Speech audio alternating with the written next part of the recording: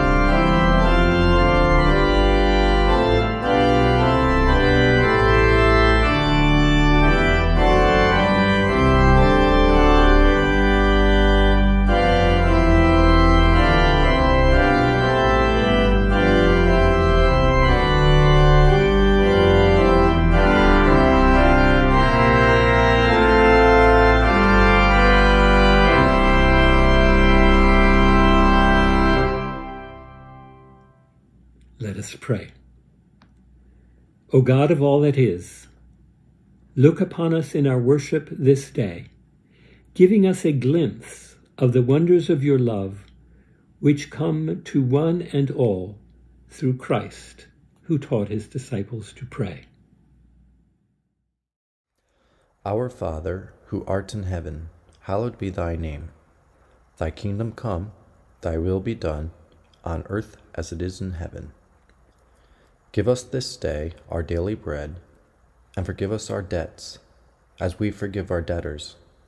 And lead us not into temptation, but deliver us from evil. For thine is the kingdom, and the power, and the glory forever. Amen.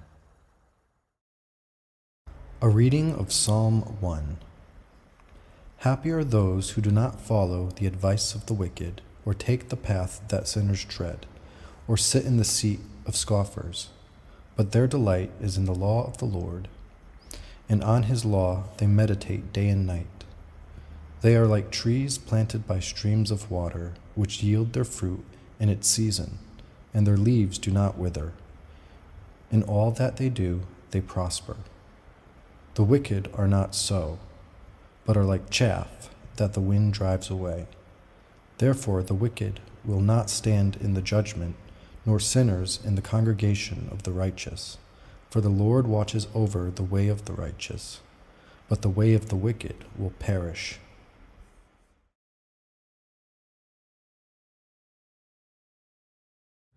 We add to our prayer list this week Brad Martin, who is recovering from heart bypass surgery uh, performed this past Monday. We also pray for Heather Stevenson, who was in an automobile accident in Maine. We continue our prayers for Sona Elizabeth Averill Wyman, for Eric and Bennett Brazy, George O'Brien. We pray for the safety of all American school children, for Alan Dorn, Carol Langlois, Riley Stone, Penny Putnam, Bill Young, Cody Pound, George Gray, Lori Ayatt,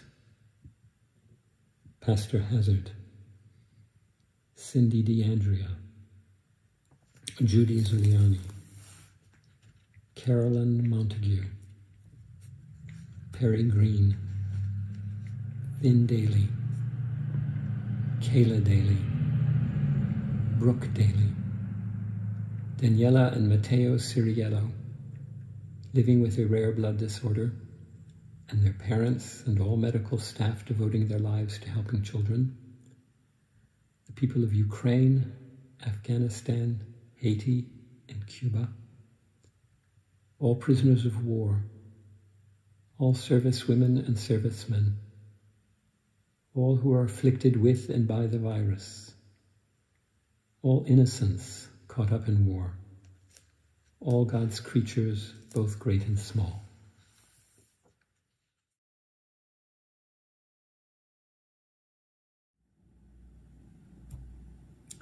O Creator God, we come before you this day to seek insights into the truths which you have for us as individual believers, for us as a congregation, for us in our wider community, as well as for our nation and the entire human family.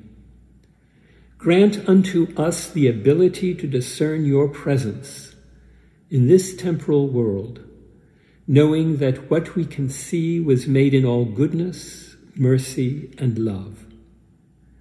Remind us, however, O Lord, that what we can see is temporal, and that it is in the unseen that eternity can be glimpsed, and that your kingdom is being prepared for our benefit and our eternal joy, for which we give you thanks and praise.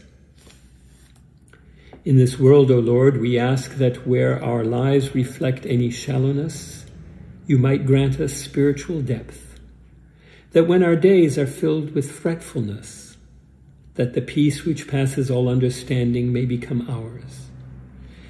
That all instances of irritation might give way to serenity, and that where there is cynicism, that it might be replaced by grace and gratitude. Indeed, O God, grant us grateful hearts for the many good things which surround us, for books which provoke understanding, for music which inspires, for family and friends which comfort, and for the costly heritage of the Church Universal, which channels our energies as we seek to bring to earth the glories of the world to come. We also pray, Heavenly Father, for forgiveness. All too often we have been part of problems rather than solutions, obscuring the vision glorious instead of clarifying your will for your people. We also ask forgiveness, O God, when we have shown our worst, thus discouraging others who are struggling to do their best. May we join them in their sacred labors and thus redeem ourselves. We repent of any thoughtlessness when confronted by others who need our care rather than our neglect. For too often we have failed to share the good news of your presence when others would have welcomed goodwill. We pray that you might make us adequate to the tasks of discipleship and of faithful living following in the pathways set by your Son, in unity with the Spirit. For it is in Christ's name that we pray. Amen.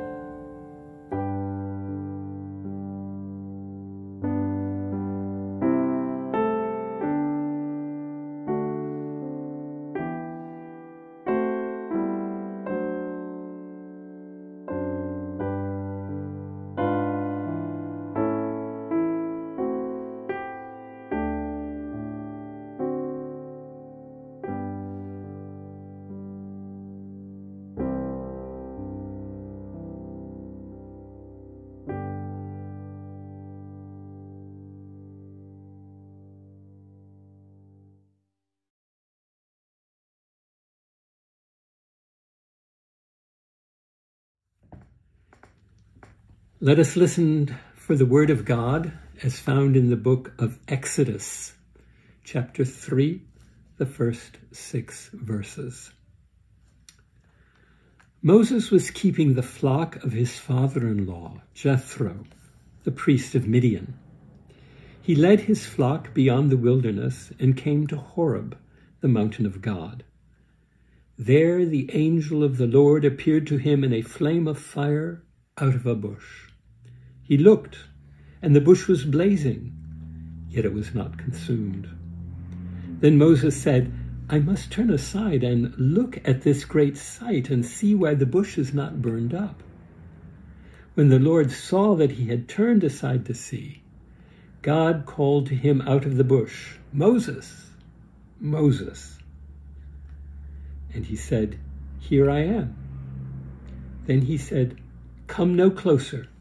Remove the sandals from your feet, for the place on which you are standing is holy ground.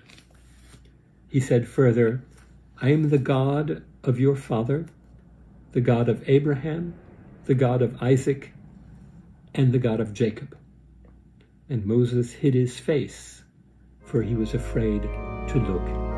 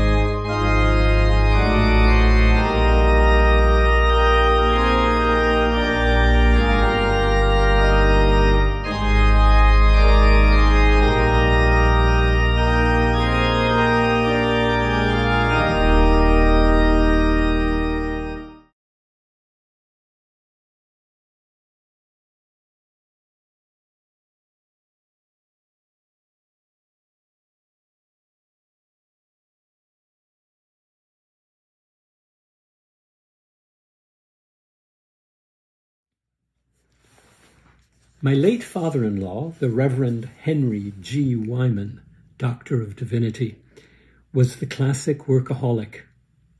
He was a lot of other things as well, but we'd have to talk about that some other time. Henry Wyman was a big man in more ways than one. He'd fill the whole room as soon as he appeared at the door. In energy, he was boundless, working well into his 90s barely slowing down. In fact, at 92, he had more energy than I had at 22. To be sure, his fall down the snow-slickened marble stairs of the Bangor Public Library slowed him down a bit, since he had to walk with a leg brace for the rest of his days. But he never seemed to ever really stop. If he had been a Muslim, no doubt he'd have ended up as a whirling dervish instead of a congregational clergyman. Over the years, Henry had not one, not two, but innumerable retirement parties. Susan and I lost track. He retired from parish ministry, then retired from chaplain's work. He was an industrial chaplain for Anheuser-Busch, then retired from interim ministries though if truth be told, he retired as an interim a couple of times. Well into his 80s, he consulted with small, struggling churches. There were plenty of those up in Maine, as well as conducted services in nursing homes. Not all of this work was pro bono, and since by my and since my own retirement plans had yet to go into effect, I had once offered Henry the perfect solution. Since I couldn't afford to retire and Henry wouldn't retire, I told him he could just keep working and send me his paychecks. He never took me up on that offer, though he generously paid for me and Susan to accompany him and his wife Sona on a transatlantic cruise. As long as I would serve on board ship as his butler and Susan be her mother's lady in waiting. It was the best busman's holiday I ever experienced. Well, whether we are still working or have retired, we all like our rest, most of us anyway, and we certainly enjoy the extra day that comes our way, even in retirement, to get a change of scenery or to do something that is refreshingly different. That is doubtless one of the secrets of the church's enduring attractiveness over the centuries. Many people find inside the doors of the meeting house a place of rest, of sanctuary, or serenity. Here, even though worship has its own routine, the pace of events is quite different from outside in what is called, perhaps erroneously, the real world. Here we can pause, perhaps to find God and to draw ourselves closer to the ultimate realities of existence. The meeting house provides both a time and a place for prayer, contemplation, reflection, and meditation. But there is much more to the church than that. If it is a place of refreshment, it is also a place, ideally, of stimulation. Inspiration is not just a passive thing, but moves us, animates us, even propels us along the straight and narrow. In fact, if you look at the scriptural record, traditionally people of faith have been found by God, sought out by our Creator, not just in times of tranquility, but in times and in places of activity and work. Now, we have all heard about those hermits who have gone out into the deserts or found themselves in a cave or retreated into monasteries in order to find the ultimate reality. Many of the great mystics have sought God in contemplation. The saints have made their lives little more than a long, never ending prayer. Those who would inspire us have often done so, not through the tumult and flashiness of the earthquake, wind, and fire, but through the silence of eternity. But there is another story to be told, another path taken, another way to reach God, or rather, to be reached and touched by God. It is often when intent on some useful work and while pursuing a helpful calling that God's voice is heard. And that goes to prove the point that the highest reward for our toil is not what we get for it, but what we become by it. So let us take a bit of time this morning to consider some of the examples from Scripture. We heard from the Old Testament book of Exodus this morning that Moses was a shepherd working for his father in law. Before that, however, Moses had grown up in the royal palace of Pharaoh under, under the protection of a royal princess. But what was important was not so much Moses' rank, whether exalted or humble. What was important was that God appeared to Moses while Moses was at work, tending the flock of Jethro, and God used Moses as a blessing. Fast forward a few hundred years, and we run into a boy named David, who would become Israel's greatest king.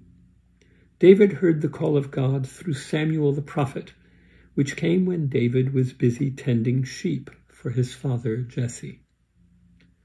David's predecessor as king, the warrior Saul, was busy looking for and hunting down his lost goats and cattle when God found him and plucked him from out of nowhere to make him the first king of Israel.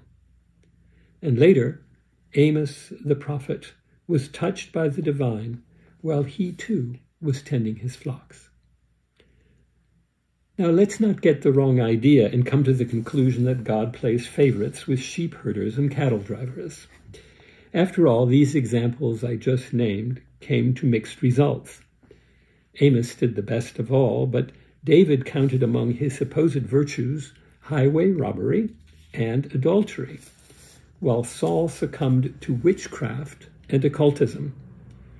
Even Moses didn't make it to the promised land because he was found to be wanting. So it is clear that being found by God does not guarantee success. But it does give you a chance that too many others might never have. It gives you an experience that others might never go through. You may end up facing a cross, but just as the Levite sings that it is better to be a doorkeeper for one day in the temple of the Lord than to dwell a thousand years in the tents of wickedness, so too is it better to be touched by God. For even when we stumble, God will be there to uplift us. Others encountered the divine reality through and in their labor. Gideon, who purged Israel of false religion, was found by the angel of the Lord as he was threshing wheat by his family's winepress. Gideon traded his thresher for a trumpet and drove the Philistines from the land. Elisha was busy plowing with twelve yoke of oxen when the prophet Elijah came up to him and threw upon his back his prophetic mantle, symbolizing that as the Spirit of God rests upon an individual as a cloak rests upon one's back, the Spirit of God would now be with Elisha who would prophesy the divine will to God's people. Nehemiah was told that he would lead his captive people out of exile back to Zion, back to the promised land, to repossess God's gift to Israel. Nehemiah had been waiting upon a pagan king in a heathen court, protecting the monarch from death by poison. Now, if you think that protecting a pagan king from assassination is an odd situation to be found in by God, think of the disciple Matthew, who was busy extorting money from the poor, given his job as a tax collector. It, matter, it matters little to God, for God can even reach into the worst of situations and transform them. Matthew's future colleagues, James and John, were engaged in the more benign task of mending their nets. And as we heard a few weeks ago, Peter and Andrew were making the morning catch when Christ found them. Mary and Elizabeth were busy keeping house when God spoke to them about bringing two of the most famous cousins into the world. The testimonies of Scripture go on and on. But the real question is what are we doing? Have we placed ourselves in a situation where God can easily find us? As we celebrate our rest from labor this weekend, whether it be labor in the home or in the marketplace, whether it be the labor of youth or of maturity in retirement, might we be so blessed in our work as to make the discovery that God wants us to be about his business. Amen.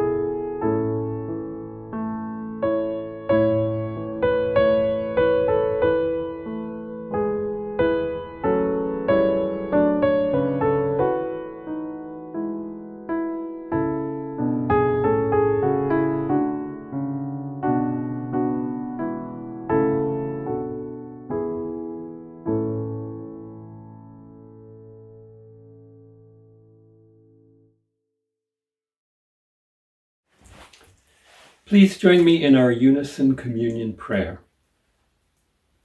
Forgiving God, remembering your gracious acts in Jesus Christ, we take from your creation this bread and this cup to joyfully celebrate his dying and rising as we await the day of his coming. With thanksgiving, we offer our very selves to you to be a living and holy sacrifice dedicated to your service. This we pray in the name of your Son. Amen. For on the night in which he was betrayed, our Lord Jesus Christ took bread. After he blessed it, he broke it to share it with his disciples, saying, Take, eat. This is my body, which is broken for you. Do this in remembrance of me.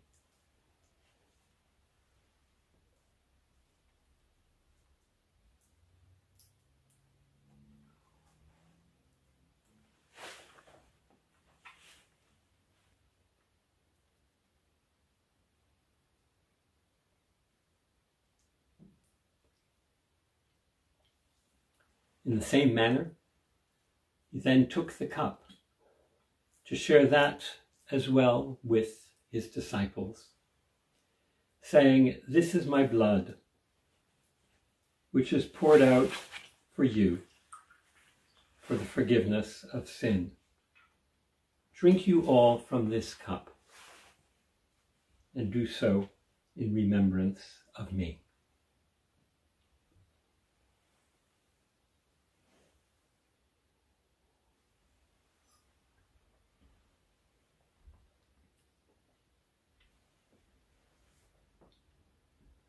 Let us pray together our unison communion prayer of thanksgiving.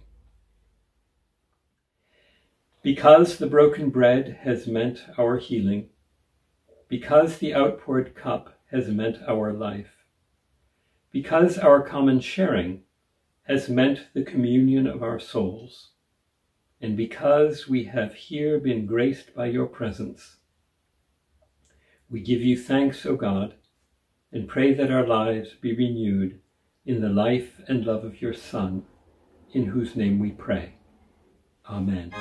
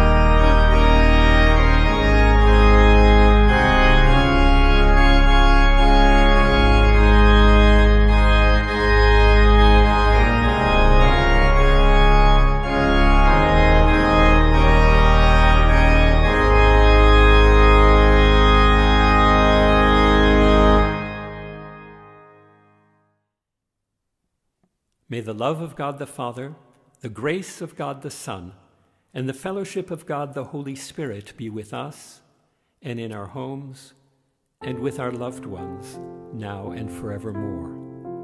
Amen.